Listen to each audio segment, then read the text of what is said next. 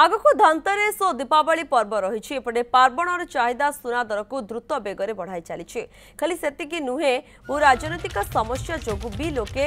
ସୁନାରେ ବିପୁଳ ନିବେଶ କରୁଛନ୍ତି ଫଳରେ ସୁନା ମହଙ୍ଗା ହୋଇ ଚାଲିଛି ଗତକାଲି ଭୁବନେଶ୍ୱରରେ ଦଶ ଗ୍ରାମ ପିଛା ଚବିଶ କ୍ୟାରେଟ୍ ସୁନା ଦର